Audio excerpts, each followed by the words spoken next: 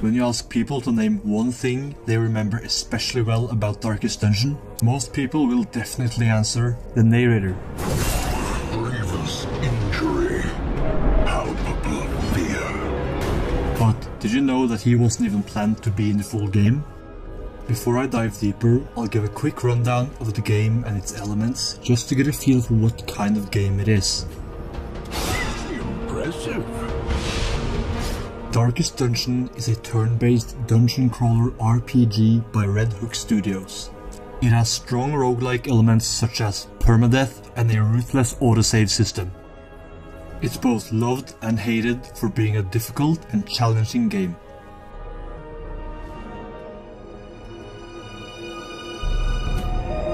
The premise of the game is to explore the surrounding areas of your hamlet while slowly working your way to the darkest dungeon itself, located beneath your ancestors' old mansion. First, you will assemble a team of heroes. They'll be delivered daily on a silver platter to you by a stagecoach. Then you'll go searching for loot in different areas, and you'll have to fight a lot of different Lovecraftian creatures.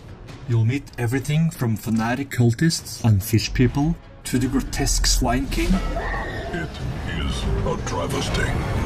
A blundering. and the loot hoarding Corvid.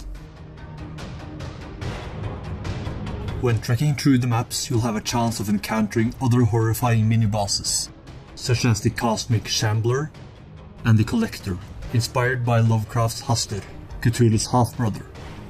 And once you think you're doing good, you'll probably meet one of these guys. The game is heavily Lovecraft inspired. Cosmic horror is a constant theme in the game, and the further you progress in the game, the more the world around you starts to unravel and reveal itself. A staple of the game is the stress mechanic. Your heroes are susceptible to the stress of delving into dungeons filled with monsters, and if you don't tend to your heroes' well-being, they will eventually get afflicted with different negative effects. These include paranoia, abusiveness, irrationality, and many others. And now let's talk about the narrator.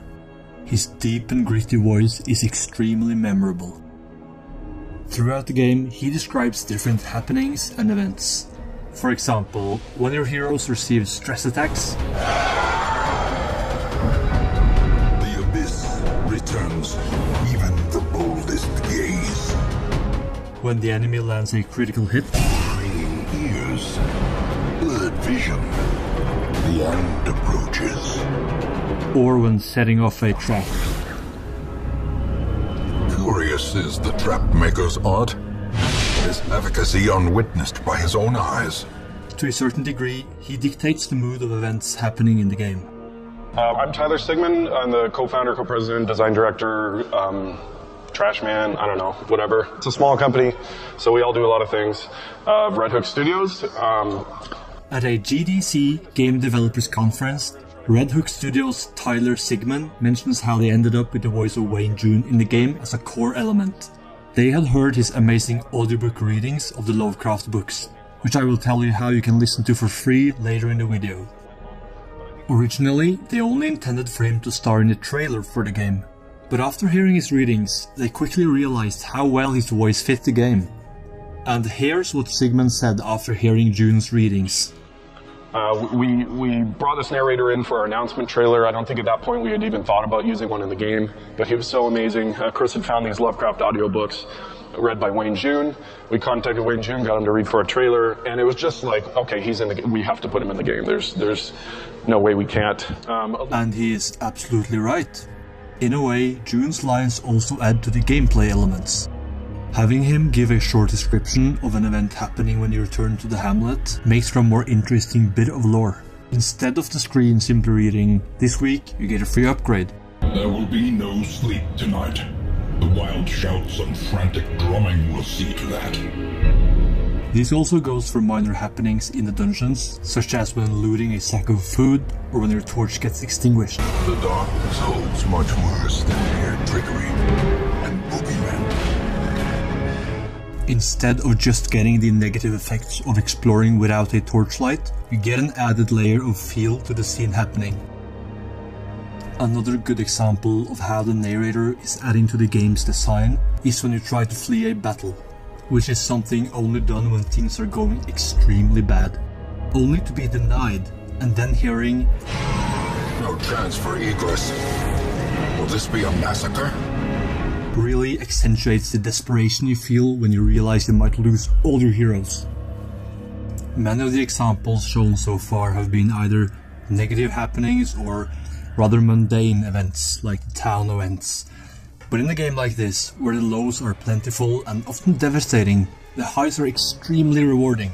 Having the narrator exclaim when you land that needed critical hit which just saved your healer is exhilarating. But the absolute highest point in the game is undoubtedly when a run is going bad and the hero is about to be afflicted, dooming your run even more and then turning out virtuous. Many fall in the face of chaos, but not this one. Not today. You see, there's a small chance your hero will become virtuous, where they power on even when reaching the stress threshold where affliction usually would set in. And this can turn the tide of a battle. The hero can no longer get afflicted, and they will boost your other party members in different ways. Here you can see my man at arms resisting being dragged to the depths by the enemy because of him becoming stalwart, giving me a great chance in this fight. And the booming voice which accompanies this is absolutely thrilling and makes good gameplay shine even brighter. The narrator could be compared to a dungeon master in Dungeons and Dragons. Everything that's happening is being described by a person that has all the information. So even if we were to remove the interface showing the stress level and health of your heroes, you would still get a gauge on how they're doing. In the game, you're getting the brunt of your information on screen, visually. All the extra depth comes from the narrations. You clearly understand that a hero becomes fearful or paranoid, but having the narrator say, The walls close in. The shadows whisper of conspiracy. adds another layer of information and on how the hero is losing his or her mind. Other games have also used a voiceover like this, but not to the same extent that Darkest Dungeon utilizes it. For example, classic FPS games such as Quake and Unreal Tournament, or Halo's Killstreaks. However, most games would not benefit much from a Darkest Dungeon style narrator. It might even detract from the game experience. Try to imagine Faster Than Light, which has an isolated atmosphere with a narrator describing that hull breach which just happened. Such a terrible assault cannot be left unanswered.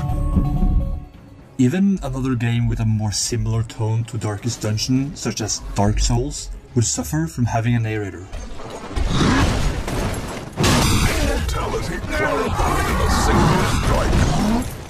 Even while being in the same ballpark when it comes to atmosphere, a narrator is not at all needed here, it feels out of place. In Darkest Dungeon, however, the narration complements and enriches the experience tenfolds. Red Studios made, in my opinion, one of the best design choices in the game by adding the voice of Wayne June, making it a gloomy, memorable, and just all around amazing experience. The narrator is essentially your only constant companion through the game, and when your heroes die time and again, the narrator will be there to make those losses even more bitter and impactful. More dust. More ashes. More disappointment.